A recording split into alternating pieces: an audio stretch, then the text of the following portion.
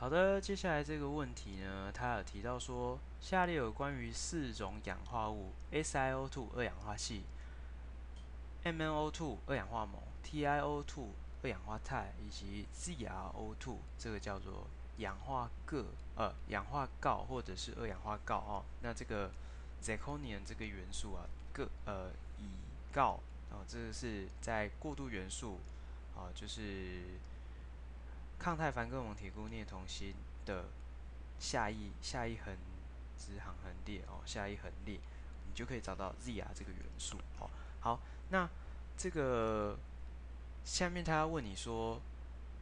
这甲乙丙丁啊，跟这个一二三四这四个东西的应用啊，你要去把它搭配一下哦，跟它有关的你要把它搭配一下。好，我们就先找啊，这个光触媒应该有印象吧？光触媒是哪一个啊？光触媒应该是丙二氧化钛，TiO2。好，那这个我们稍微提一下哈，TiO2 啊，它必须要做成纳米级的 TiO2，它才有光触媒的效果。好，所以它必须要做成纳米级的光触媒。好，那如果你今天只是一般的快材，它不是纳米材料，那它是什么？它只是一个白色的颜料，好像是你们使用的立可白或者立可带上面那个白色的涂料，其实就是 TiO2。好，所以如果你今天没有把它做成纳米等级，它就只是一个涂料。好，好，再来，这里还认识谁呢？好，这个我们比较有印象的应该是，好，我们先从干电池下手。干电池啊，干电池会用到什么？乙二氧化锰。好，我们这个二氧化锰，它可以作为里面的一个这个氧化还原的一个物质哦，用来提供我们的干电池的氧化还原的反应。好，你就可以提供电流，就可以产生电流。OK，好，这个是我们比较有印象的嘛，对不对？好，接下来啊，这个光学纤维这边讲一下，光学纤维我们会用到的是钾二氧化系。好，二氧化系啊，纯的二氧化系我们又称之为石英。好，那石英呢，它会有很好的这个光学性质。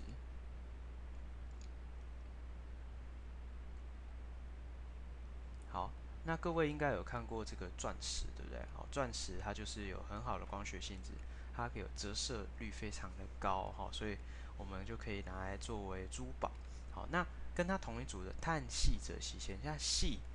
它的氧化物二氧化系在很纯的晶体的时候，它的光学性质也很好，它可以折射率也相当高。但是价格相对来讲就便宜很多哈，像石头里面很大部分的成分就是二氧化锡。那我们现在呢，光纤光纤的技术已经蛮成熟，像各位很可能很多人家里的网络，它的主网络的干干线啊，主干线都是用光纤，好像这个可能电信业者它的机房把这个讯号要迁到你们家的大楼的时候，它可能就会用光纤的方式。那光纤的原理啊，它其实我简单的画一下哈。光纤的原理它是这样子，一条管路，一条管路，那里面会有一些这个就是二氧化锡的成分会在里面哦，它是用二氧化锡作为一个基底啊，外面会再涂上一层保护的塑胶哈。那这里面的材料可能就是二氧化锡。那我刚刚有提过啊，二氧化锡它的折射率可能非常的好，好，所以当这个光学的信号进来的时候，好，它可能会用镭射光哦做这个电学呃这个光学的讯号进来，它因为折射折射到全反射，它就会在这里面一直不断的前进，好，一直不断的前进，好，所以它可以借由这种方式传输到很远的位置，而且因为它是光移动的速度就是光速，可是它在这介质中可能会比在真空中慢一些，但是还是非常的快嘛，总比你是用电路。的这个讯号的传导会来得快很多，好，所以光纤呢，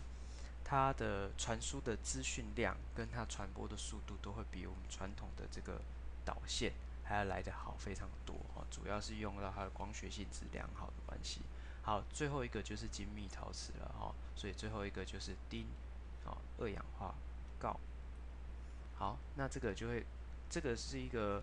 呃过过渡金属的氧化物。那如果我们拿这过渡金属氧化物跟其他的一些金属或者是其他的金属氧化物一起烧结，它就可以做成一些精密的陶瓷。像有些不同的领域，它有不同的研究。像啊，就我所知呢，这个它可以用在一些像是